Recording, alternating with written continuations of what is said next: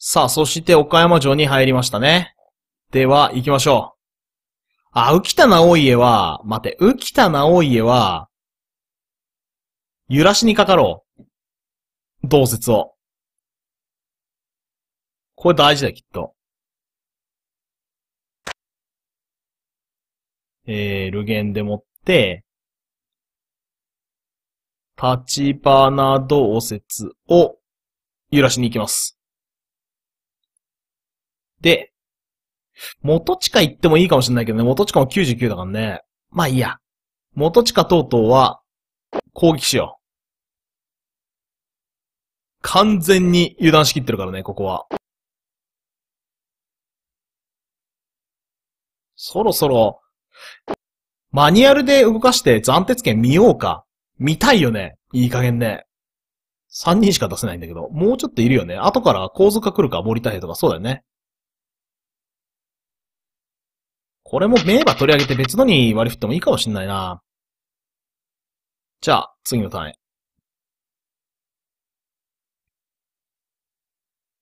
来た。お、来た入ったね、今ね、ルゲンが。来た。まあ。ああ、でも強いな、77。これはいい勝負になるかもしんない。ここでも距離が近いっていうのがね、肝なんだよね。囲み込んでから補給のユニットを出せますしね。いやでもさすがに強いの、高橋ジョーン。強い、強い。さあ。小田が、おい、来てんのか？あ、音楽変わった。というのは、勢力が伸びてきたから音楽が変わったんだと思うんだけど、まあ、劇的に変わったな。すぐに音楽なくなっちゃうんですけどね、このゲーム。本当に、こういうの直してくれると、嬉しいんだけどな。まあ、カナーの願いでしたね。えー、で、せっかくだからこの荷車いただいてしまいましょう。で、えー、三太夫と、名人越後は、岡山城に向かわせます。これそうか、名人越後も、使えるんだよね。斬鉄剣を。浪人だ。そうか、浪人か。脇さ感じ。あ、来た。アンジも結構強いんじゃないの ?72 だもんね。うん、そこそこ。まあ、強いかと言われると微妙だけど。肝心要の彼らよ。えー、ライレンも、サダユライレンも、あ孫市行ったね。山名に。そうか、そうか。じゃあ、ここにいるんだな？えーっと、いる。ライレンもいいんじゃん。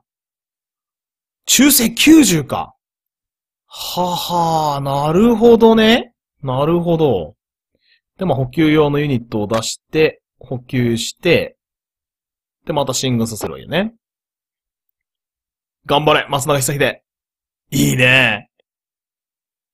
やっぱ100超えると強烈なのかな？あ、佐竹義明死亡ということは義重か。そうだね。柴吉村、はい、そうですか。義重も100いく武将じゃなかったかな？初期92とかあったような気がするけど、どうだろう。中村御所に、忍者が送られてきた。ということは龍蔵寺来るか？まだ来ない。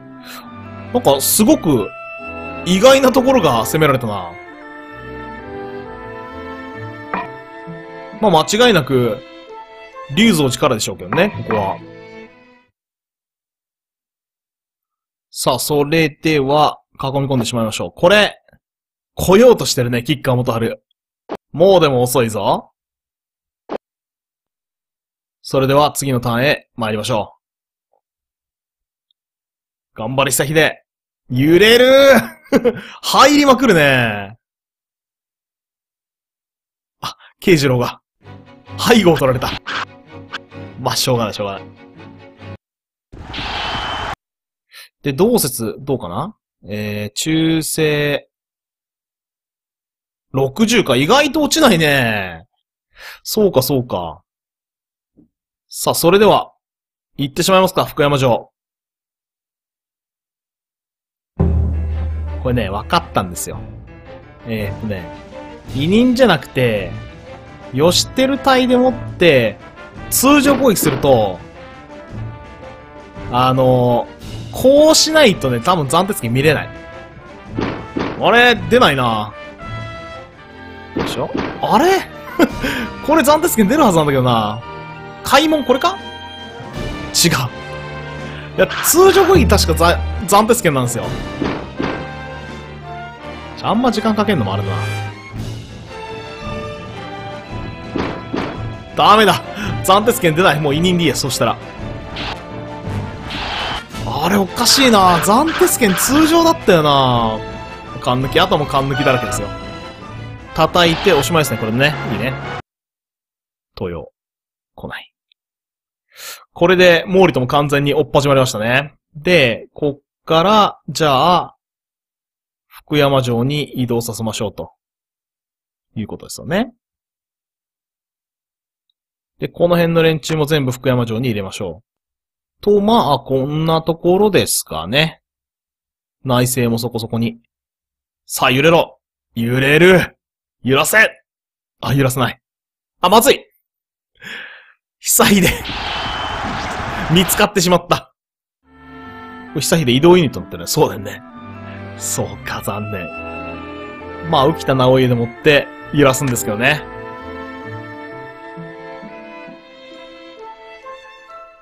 いや、欲しいな中性は54落ちてるね、でもね。いいね。これ、もうそろそろ内容も夢じゃないぐらいまで落ちてる。そうだね。いいね。引き返してる。で、どうしよっかな吉田郡山、行っちゃってもいいよな絶対に。これ攻めるの結構大変っぽいんだよね。でも武将少ないぞ。うん、行こう。キッカー元春がこれだと100超える武将じゃないかな。そうだよね。キッカー元春。毛利だと多分、キッカー元春ぐらいなんですよね、100超えるのが。あとは、そう、元成も87ですからね。まあ、地望がやばいけど、で、小早川隆景なんか、大したことない武将なんじゃないのかな、この頃は。どうなんだろうてか、小早川隆景どこ行った？ここにいんのかな？あれ、いないんだけど。え？どうした？小早川隆景は。もしかして首を切られたかそういう話？あ、いた。吉田郡山忍者。そう。97時、90で。なんか、まあ、微妙なんですよね。戦闘が。まあ、ガンガン行ってしまいましょう。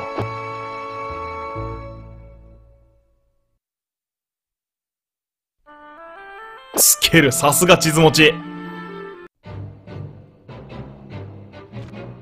まあ、一瞬でしょう。ですよね。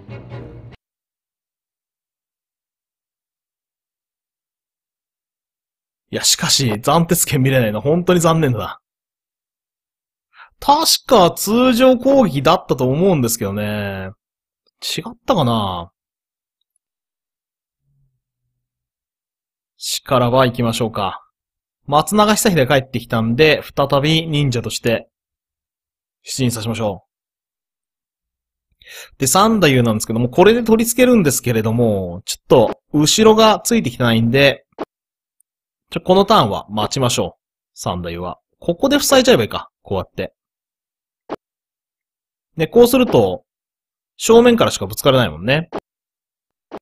でね、ここまで来るんだったら、山口館行きたいんですよ。っていうのは、ここ、移動力の修行できるんですよね。移動力はね、本当に違いますからね。段違いですからね。忍術と同じように。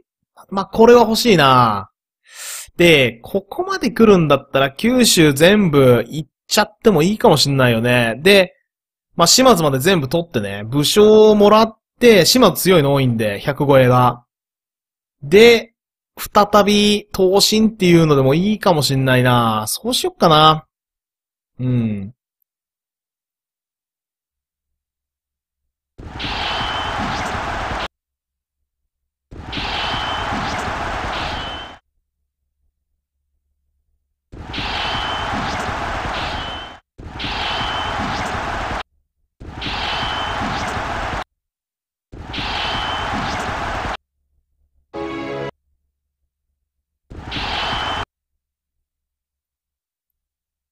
あ、来た。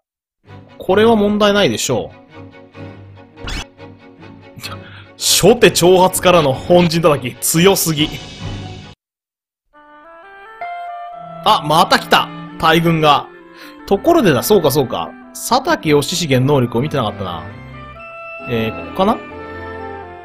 いた。あ、100超えないのか。87か。そうかそうか。100超えるものと思ってたけど、違ったか。これ、うるさそうだな、なかなか。それでは、小田に立ち向かっていきましょう。なかなか、いやらしい出方してるな、っていうのは、数が多い。何はなくとも。えー、っと、だったら京都から出て、側面をつけるよね。宮長秀か。まあ、もちろん強いよね。でもまあ問題はないかな。よし、いいね。捕まえた。来ない。で、あ、茎なのか、ここにいるのが。そうか。茎か。なかなかややこしいな。ちょっと一人二人強めの武将をここに詰めさせといてもいいかもしんないね。観音寺をね。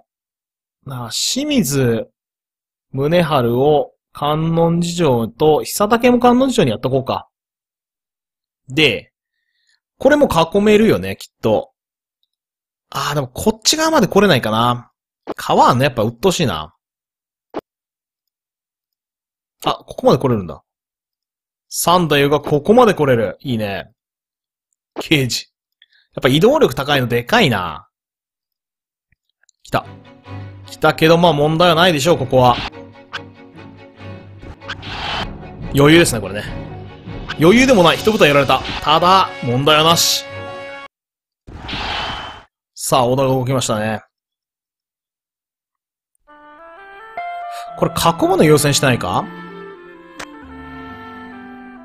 そうだね。囲むの優先っぽいね。まずは、オバマ隊でもって、背後をついてしまいましょう。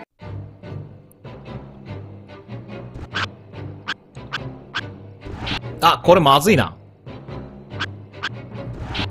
ちょっと。思ったよりかきつい、全然。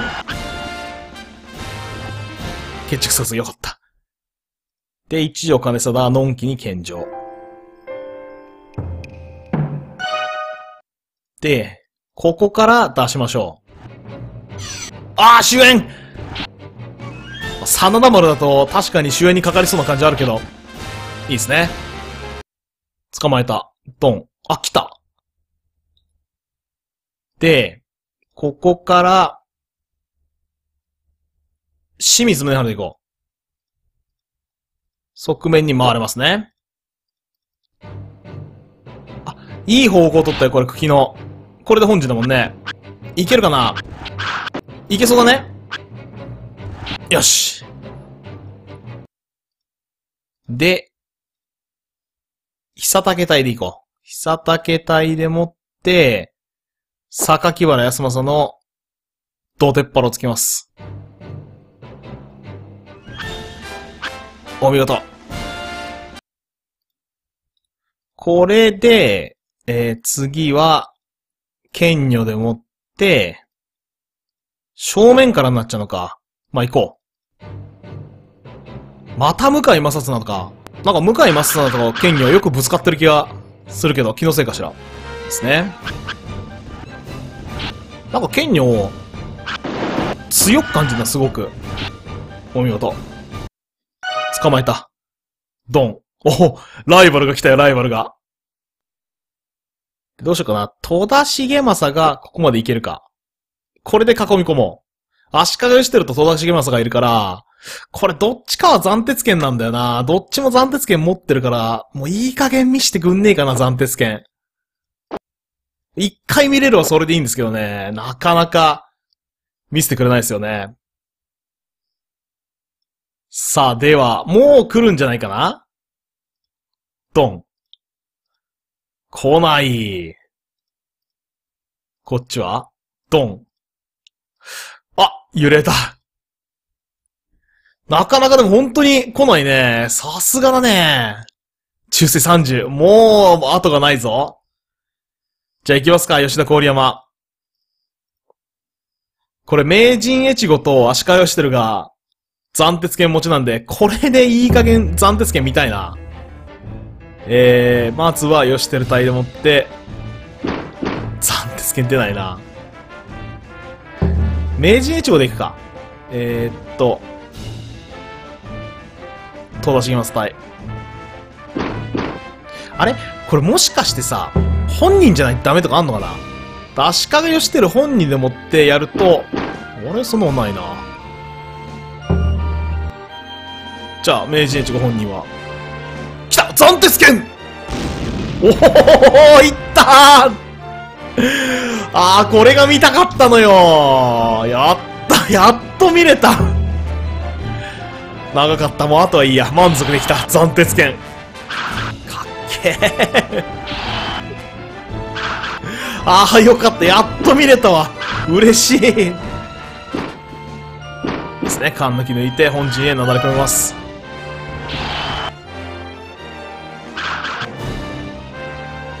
あ、飲んだ。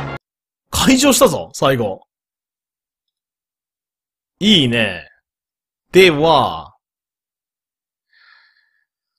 山口館行くか。こうなったら。で、まずは移動力の修行に行けるようにしよう。毛利の反撃が怖くないと言えば嘘になりますが、それでも、山口館行きたいな。それでは次のターンへと行きましょう。あ、待てよ。だったら吉田郡山に人を入れとかなくちゃダメだね。吉田郡山に人を入れるのは立部山からでいいんじゃないかな？立部山、山名もなんか攻めてくる感ないしね。まあ、これを何人かさーっと移動させときゃいいでしょう。これでいいんじゃないかな？内政もそこそこにって感じですよね、ここに関しては。では次へ。もうそろそろ半兵衛帰ってこないかな？あ、村上義清死亡。国清。で、ルゲン。おっと、揺れん。ないよ。あ、来たよーしよしよし、来た来た来た来た来た嬉しいこれは嬉しい同説。98ですからね。素の能力か。あ、でもそうか、来切りを持ってんのか。で、同説は、まあ、忍術書を与えますよと101だね。で、医術書を与えとこう。寿命が60歳で怪しいんで。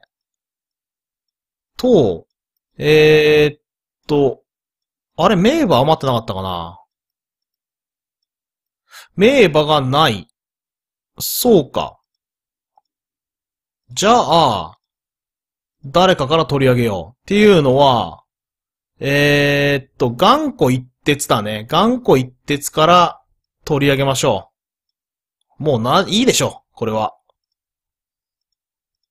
頑固一鉄多分この辺入ってるよね。あ、いたいた。まあ、引き返しちゃえばいいか。で、同説に、名簿も与えましょうと。これでいいね。いや、でもなんか、もっと強くしちゃう？?105。